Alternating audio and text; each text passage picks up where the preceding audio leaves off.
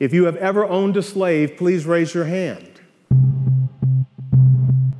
Slavery is not our fault. We didn't do it. We didn't cause it, but it is our shared history. Slavery had nothing to do with the war. And so, if I make the statement to you, America was founded on white supremacy. Lynchings or hangings took place here. It's a genocide, it's an ethnic cleansing. The bodies were dumped all the way where the underpass is, and they intentionally put the interstate on top of their bodies. It's ingrained in my memory. I'm just looking at him in the ditch with his eyes open. My daddy sat on the carport right here in a lawn chair with a shotgun across his lap because he was going to be ready if somebody came to the house. There must be a revolution of values in our country. I cannot look at that video in its entirety. And my brother did not deserve to die unarmed It will never get easier to have an honest discussion about race in America than it is right now. Because if we wait, it is only going to get harder.